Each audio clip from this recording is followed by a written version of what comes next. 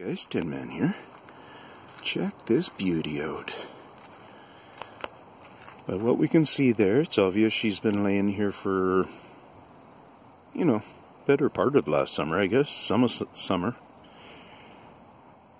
And through the winter here, till now, December the 24th. Or I mean, January the 24th. I might have said December on a couple of other videos before. Anyways, you look at this tree, and it is actually very brittle.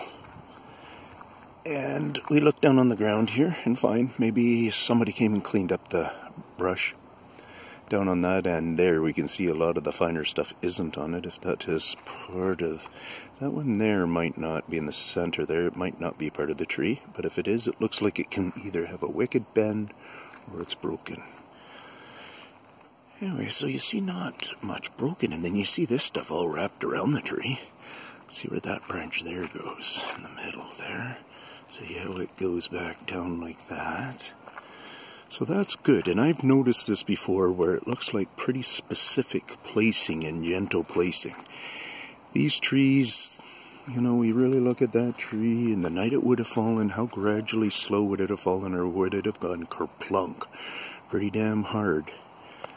There's another part of it. So there are three parts to, to it. See, there's a junction or two Y's. There's a Y there and a Y again on the other end where it's fairly meaty. And so this is cool.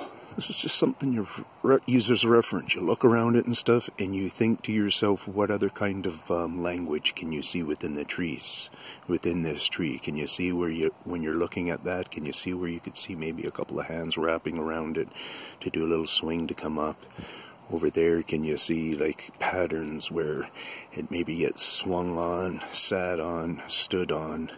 You know in different ways and it um, you can't get rid of all the scuffings and stuff so you know this is part of what you guys don't always get to see when i'm telling you what the numbers are all about and how many are out there and stuff. Ooh look at that face in the center there.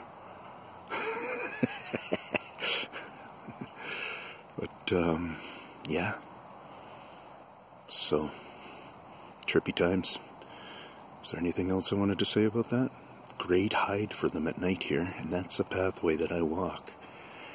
It gets pretty darn dark, and I go down that way. And uh, now I know about this here. And I remember looking at that tree, because recently, can't remember who it was, but I was listening to somebody who referred to them, you know, a Sasquatch enjoying standing in there and watching over whatever and stuff. And uh, so it just made me think about that when I was walking by that spot the last time. So I'm just yitter yattering and uh, take it easy. And the park's closed here, so I'm on my way out. But yeah, they're down here. Down in there. Are you around close? Got no idea. So.